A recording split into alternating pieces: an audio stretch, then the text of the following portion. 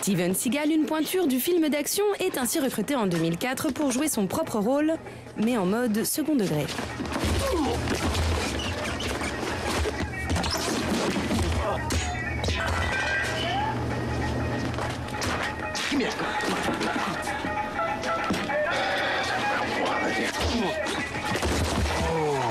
Man.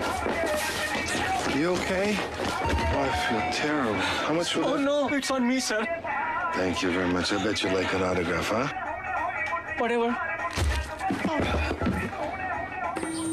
Notre soda va